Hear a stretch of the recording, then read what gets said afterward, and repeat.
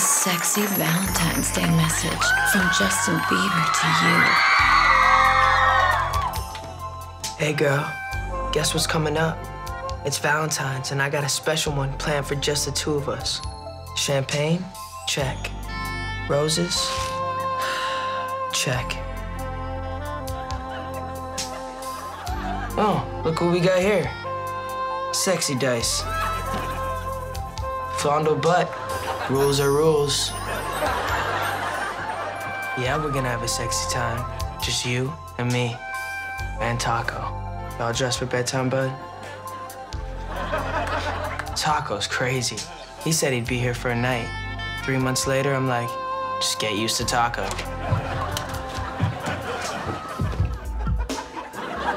Now, where were we? You like fancy chocolates? These ones are all eaten. Taco.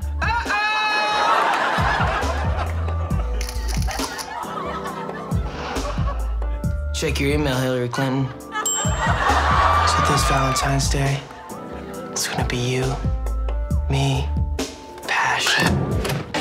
Was that a bird?